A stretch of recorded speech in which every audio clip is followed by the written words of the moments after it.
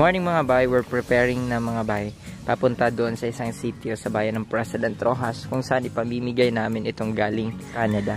So, bali dalawa yan mga bay ang para doon sa ginto mga bay. At yung naiwan dito mga bay, ayan, ito ang mga naiwan dito. Preferably mga bay, uh, gowns, yung casual attire mga bay which is hindi na din siya applicable para doon. Right. And here mga bay, meron na din itong name for uh, isa ding indigent uh, child here sa uh, aming barangay mga bay.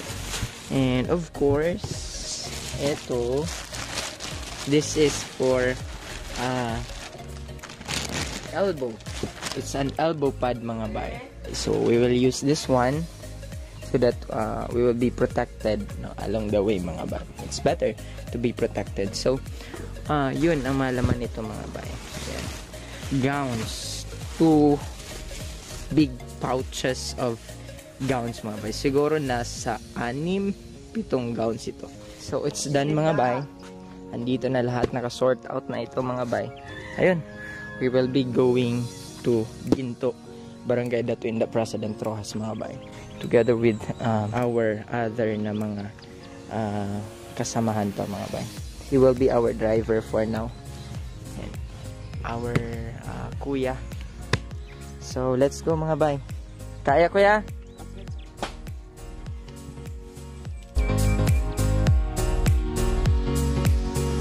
So, na-pick up na po natin mga bay yung sleeper na uh, dinonate sa atin ni Sir Jason and family. We thank you so much Sir Jason. Malaking tulong ito, malaking bagay.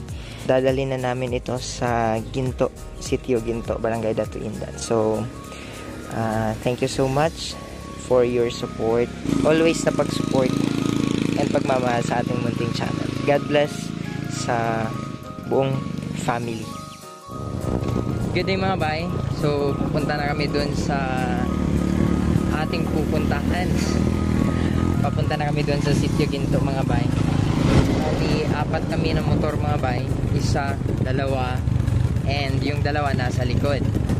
So dala natin mga bay yung sleeper yung sponsored by Sir Jason um, used clothing and other stuff mga bay from Canada. And of course andito pa yung other sleepers. Dala namin yung other sleeper from Sir Jason pa rin. And uh, we're planning na uh, mag conduct ng feeding program doon mga bay with arroz caldo doon sa mga kids right? So mga bay uh, siguro nasa uh, 20 to 30 minutes ganito ang daanan mga bay. Rough road and okay lang kaya lang pero meron pa mamaya mga bay, mga 30 to 1 hour na yung off-road talaga mga bay.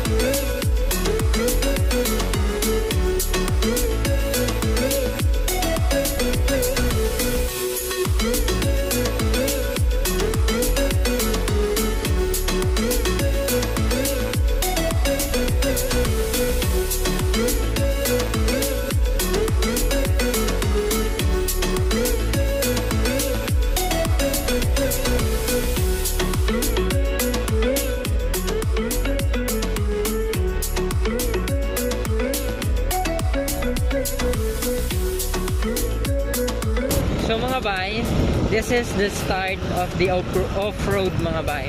Ito nang start ng off-road natin. So bali ito ang papasok mga bay. This is the portal again. Portal of exit. Traffic pa mga bay. This is portal mga, mga bay papunta sa doon sa pupuntahan natin. And mode of transportation dito mga bay through habal-habal, katig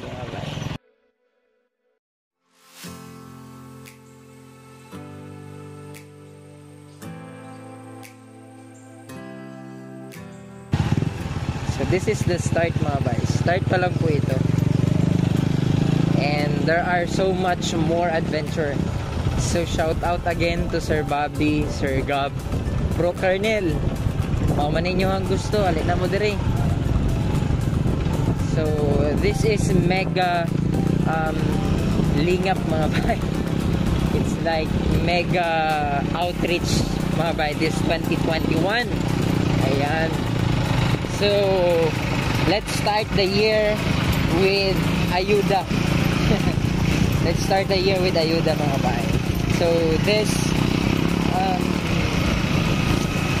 so this activity mga bay was sponsored by our Victorious Farm from Canada and other uh, sponsors natin from Canada. And of course, andyan si Sir Jason, si Ma'am Queen, Ayan. And of course, uh, some of this mga bay for for the food uh, galing ito kay Ma'am Lorna and Sir Rolly. And of course, andyan din mga bay si Ma'am I said mga bay na it is just the start of the off-road kasi nga po uh, meron pang mahihirap ang daanan mga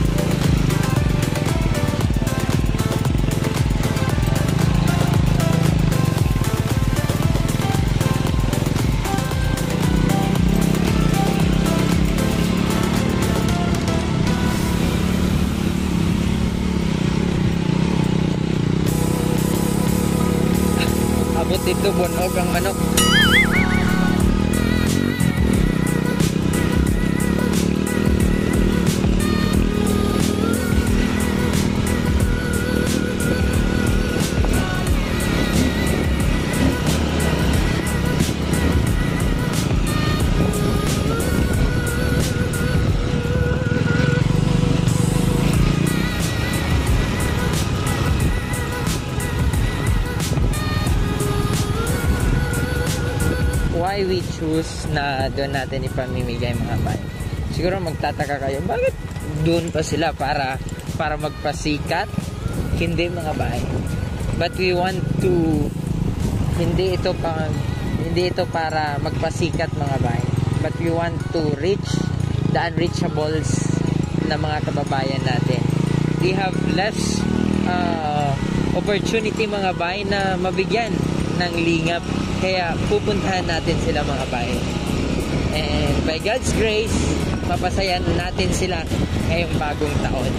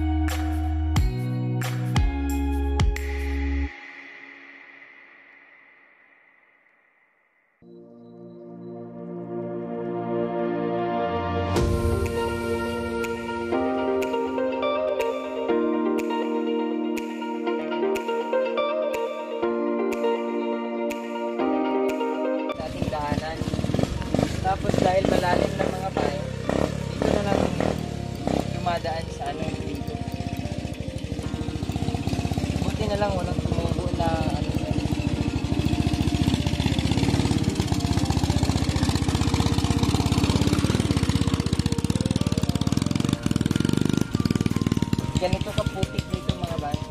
Nung una, akala namin kung kaya lang sa daanan. Kaso napaka ano na, napakalalim na mga bike kaya hindi na siya pwedeng daanan. So, doon na lang muna kami doon. Nakita niyo kanina mga bike gaano kalalim yung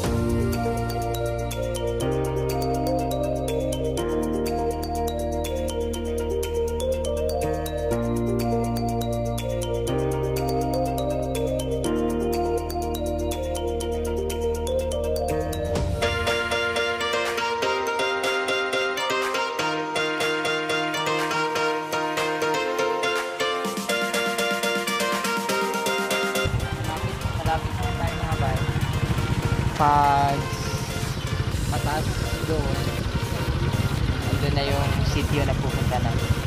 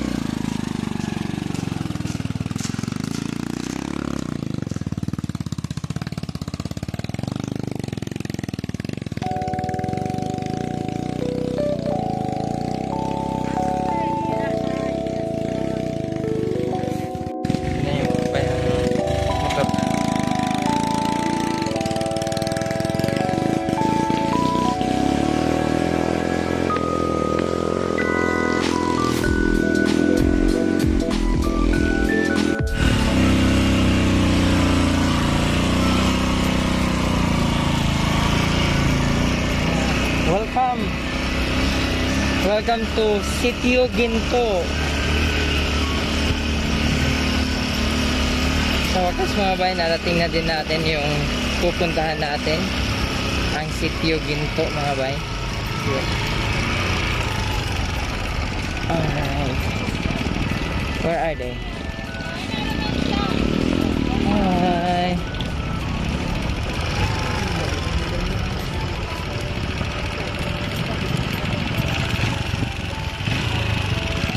May last po pala. Kala ko tapos na yun.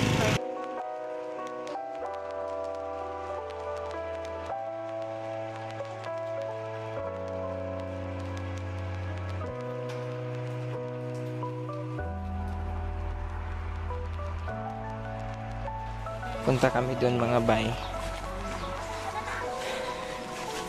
Maghugas ng aming mga paa. Palihos ko. Hariyo, nag-playing safe ni sila. Nag-play safe. Ah, dili. Walay, kwan. No further explanation needed. Pas ka lang sa mga ganyan, di daw kong kontak. Ah, dili, good.